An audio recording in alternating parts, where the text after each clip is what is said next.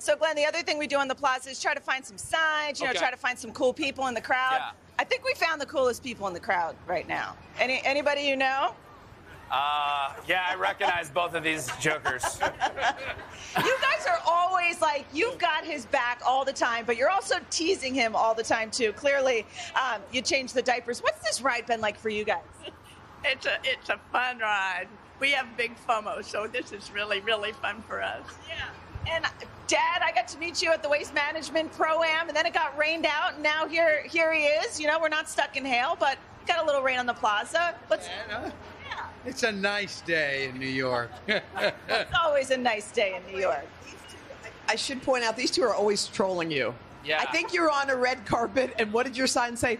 Something like, "Don't try to make Glen Powell a thing." Is that? Yeah, stop trying to make Glen Powell happen. oh, stop trying to make Glen Powell happen. I love it. Y'all are a lot of fun. It happens. Thanks for coming. By the way, you always travel with your folks. You always have a good group with you. It's very, very cool. You know, they always figure out where I am. I don't know how they do it, but they, they show up. Hey, thanks for watching. Don't miss the Today Show every weekday at 11 a.m. Eastern, 8 Pacific on our streaming channel, Today All Day. To watch, head to today.com slash all day or click the link right here.